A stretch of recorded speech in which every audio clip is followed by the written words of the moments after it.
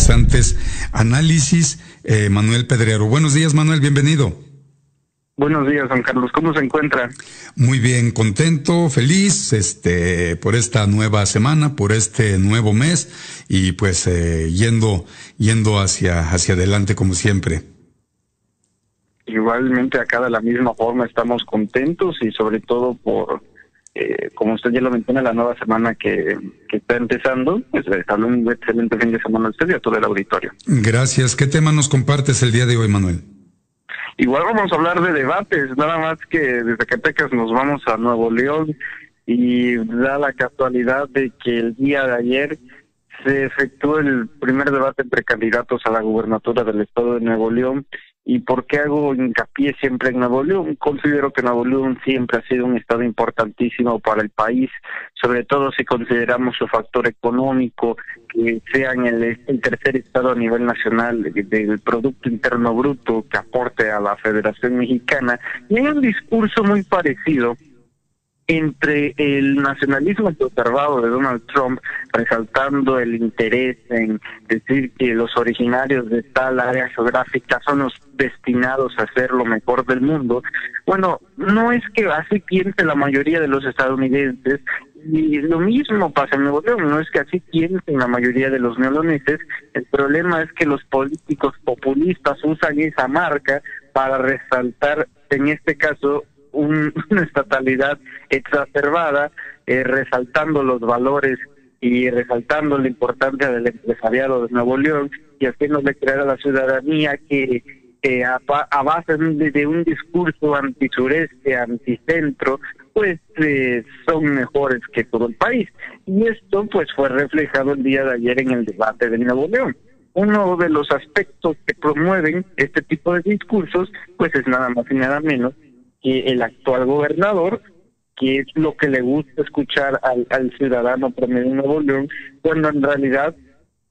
hay muchos, hay muchos defectos, hay muchos lastres que, que se aguardan en la ciudadanía de Nuevo León. Recordar que Nuevo León en sí, nada más el 90% de la gente que vive en Nuevo León, pues vive en, en el área metropolitana, concretamente en Monterrey, en capital. Entonces, la mayor parte del territorio de Nuevo León, a las afueras las zonas rurales, las rancherías, bueno, eso está desprotegido y es el Nuevo León que no se quiere ver, es un Nuevo León que incluso amerita una gran cantidad de inversión para que se pueda urbanizar y no y no quede despojada del avance tecnológico, del avance empresarial, del avance en infraestructura, del avance en la ciudadanía para que pueda funcionar. Ayer en el debate el que se resalta y que da un bemol, que da una gran rima en este discurso populista y promover de nueva cuenta y tener esta actitud clasistoide, racistoide, que ha demostrado no solamente en un debate, sino en toda la campaña, pues ha sido el propio candidato del Movimiento Ciudadano, Samuel García. Me parece interesante que en esta elección, concretamente en esta elección, sean un papel de todos contra todos, no sea un papel en el cual haya un objetivo fijo. Y a diferencia de los otros estados, aquí Morena tiene muchas eh, muchas razones por, las cuales preocuparse. La principal, más allá de que haya sido una prista de hace menos de un año y de nueva cuenta reformándose para liderar la bandera de Morena, pues lo que debería de preocupar es la forma en la que se está tratando de levantar esta campaña. Y es que estoy notando un patrón eh, lo conozco del otro lado de la política y se trata de los que usan Acción Nacional, porque como le mencionó Carlos, pues a mí me tocó ver el debate completo y la candidata de Morena, Clara Luz Flores, hasta el final, hasta el final, en los cierres de, del debate, opiniones, conclusiones, pues eh, le dedica un mensaje casi casi a Samuel García diciéndole que él es el nuevo bronco, ¿no? que esas ideas que representó Jaime Rodríguez Calderón, en su momento también hay que recordar que buscó la presidencia de la República, son en esencia las mismas que está presentando Samuel García. Y ese extracto, nada más ese pequeño extracto, se tomó de todo el debate para ponerlo en redes sociales. Pues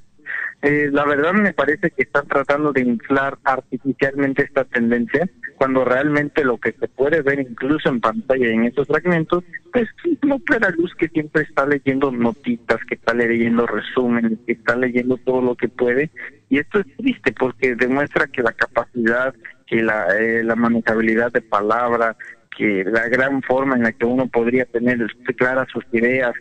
es irónico, ¿no? Tener claras sus ideas, pues tiene de alguna forma una limitante con algunos casos es nula. Y no solamente en este caso, sino también en su respuesta al video que ventiló el candidato del PRI, Adrián de la Garza, en su relación con Netvium, que ya negó, y después de ese video de mediodía se tardaron más de ocho horas en sacar un video de dos minutos para que terminara leyéndolo. En fin, muchas vertientes las que tiene Nuevo León y creo que lo más grave es que la ciudadanía todavía se encuentra en un gran factor de, de indecisión. ¿Por qué lo digo? Porque las encuestas que se han manejado por todas por todos lados, todas todas pecan de algo, ninguna coincide. La de reforma y las que paga desde luego Samuel García lo van a aventajar con más del 42%, como dijo él, lo cual es ridículo porque la tendencia que se marca en, en pleno de unos meses pues dictaminaría que en el siguiente mes, o en este mes, mayo, ya estaría alcanzando el 70%, lo cual es ilógico. Otras encuestas posicionan a Adrián de la Garza, otras afines a Morena, a Clara Luz Flores. En fin, el, ambiente eh, de Nuevo León se está crispando mucho. Y eso, lejos de ser muy sano, lejos de tener una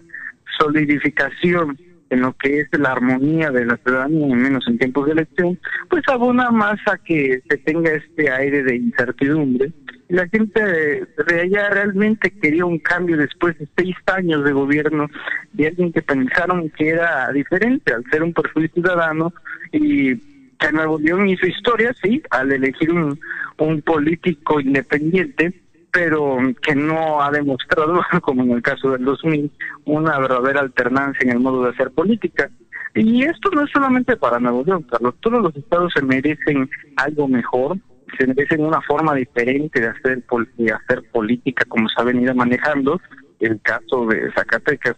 que ya se estaba mencionando, pero sobre todo para que esto nos deje algo muy claro, que Nuevo León no se trate de ser el reflejo de la política mexicana, de la clase política, en ofrecer más de lo mismo y que haya una verdadera alternancia, un verdadero cambio de ideas, independientemente de los políticos que presidan ese gobierno. Pues mi querido Manuel, eh, mucho símil, mucho símil del debate en Zacatecas, que voy a hablar eh, al terminar esta llamada telefónica contigo. Eh, este espacio, La Opinión Joven con Manuel Pedrero, mucho símil de lo que se llevó en Nuevo León en ese entrecomillo debate, con el que también entrecomillo debate en Zacatecas. Hablas tú sobre claridad de ideas, mi querido Manuel. No puede haber claridad de ideas donde no hay idea. Eh, Samuel García, pues de Movimiento Ciudadano, que está convertido Movimiento Ciudadano, anteriormente Convergencia, en el PAN de color anaranjado.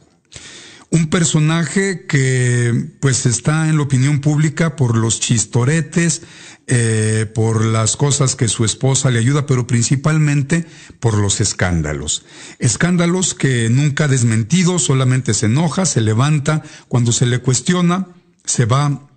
de las ruedas de prensa, entran los enormes guaruras que trae a amedrentar a los compañeros de medios de comunicación, cuando pues se le cuestiona sobre los vínculos eh, de sangre que tiene con el crimen organizado y de los cuales parece que su familia pues no se ha, no se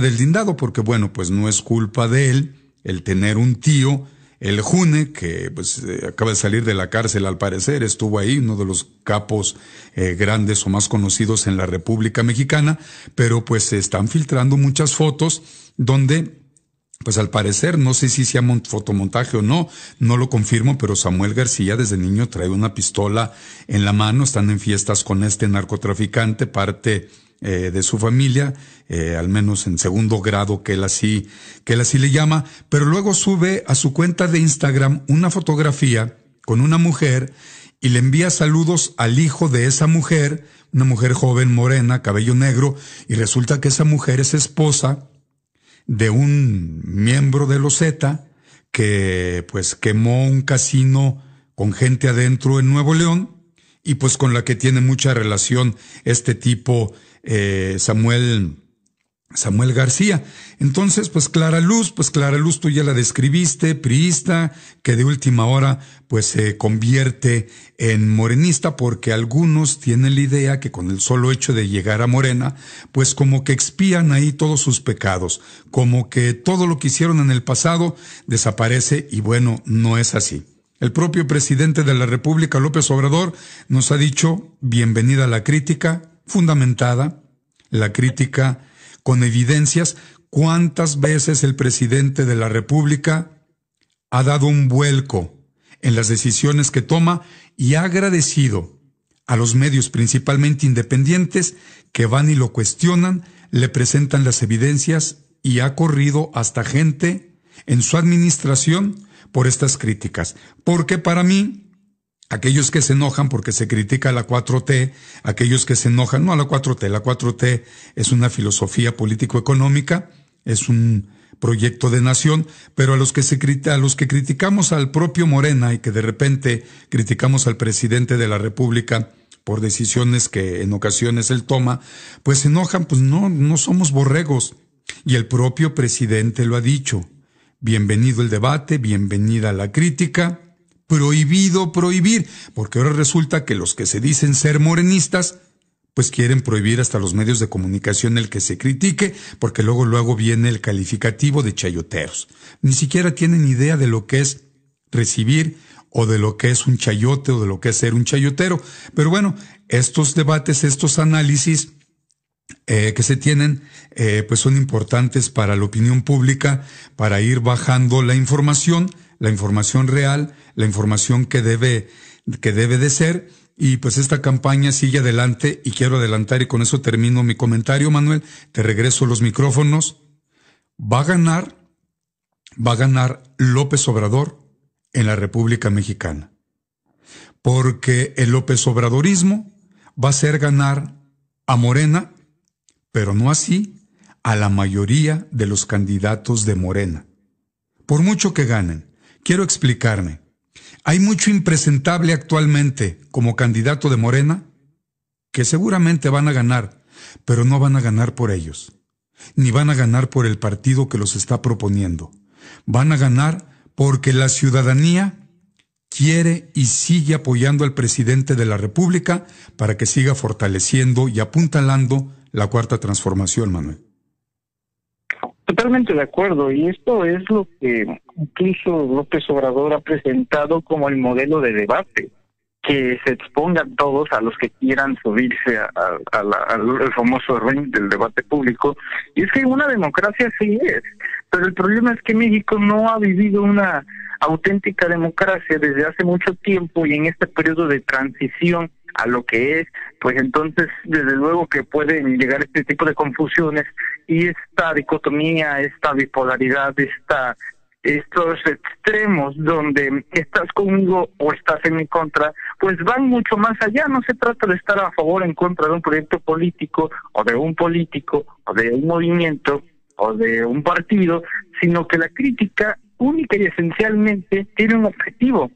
para que se considere y para que en su dado caso se corrija y enderecen el camino ciertos aspectos políticos. Pues yo no estoy criticando nunca al PRI o al PAN o al PRD para que se queden así, ¿no? O sea, si se critican los casos de corrupción es para que um, estate quieto y reivindica. Eso es lo que se esperaría. El problema es que nunca lo hacen. Entonces, cuando se hace con Morena, un partido relativamente joven que no tiene más de 10 años de existencia, entonces, al decir, bueno, en esta, en esta forma reciente de, existir, al ser la primera fuerza del país, al ser el partido del gobierno, se espera también los mismos resultados, no, no exigirles menos y sobre todo para que ese discurso anti-PRIAN tenga congruencia, no involucrar a los elementos del PRIAN. Y eso es lo esencial, Carlos. No, la verdad que eh, la, gente se ha comportado a la altura, pero también como sociedad, una cosa es el individuo, y otro, usted lo sabe bien, la sociedad, también debemos de, de, estar a la altura del debate y sobre todo para que tengamos una muy buena consideración, un muy buen análisis y que cada quien saque sus propias conclusiones. Hay que recordar que el dueño, el amo y el señor de nuestro silencio, de nuestras opiniones, somos nosotros y es la que va a contar al final del día. Así es, así es, así es, Manuel. Eh, me da gusto que las personas estén por fin entendiendo en redes sociales, que es donde está la opinión pública tambor batiente las 24 horas del día, tanto de los mexicanos que radican en nuestra nación como de aquellos que radican eh, fuera de nuestra nación de que pues hay que seguir apoyando al presidente Andrés Manuel López Obrador, hay que apuntalar la cuarta transformación, hay que generar esa transición de la cual tú hablabas y que sea ahora sí real y seguir hacia adelante, seguir hacia el progreso y pues que ahorita hay que sacar adelante esta elección y pues ya, ya luego se tendrá que hacer la limpia de corrales, como se le llama en tauromaquia, adentro de Morena, porque hay mucho traidor, hay mucho troyano, hay mucho oportunista, y hay muchos que puedo dar ejemplos y no me duraría la hora para hablar sobre los ejemplos de cómo siguen en la actualidad gente de Morena desde el Senado de la República, desde la Cámara Baja del Congreso de la Unión, los congresos de los estados, presidentes municipales, regidores, gobernadores, que están por los colores de Morena y siguen traicionando al presidente López Obrador, lo siguen dejando solo porque aquí solamente está arropado por el pueblo, la gran mayoría del pueblo, del pueblo de México. Pues muy bien, Manuel, interesante, interesante el tema como siempre. Te envío un fuerte abrazo hasta Comalcalco en el bello estado de Tabasco y seguimos en comunicación, mi querido Manuel. Fuerte abrazo a Zacatecas y a toda la familia de Conecta Zacatecas. Muchísimas gracias de nuevo cuenta por el espacio, don Carlos. Fuerte abrazo, bendiciones, excelente inicio de semana. Gracias, igualmente.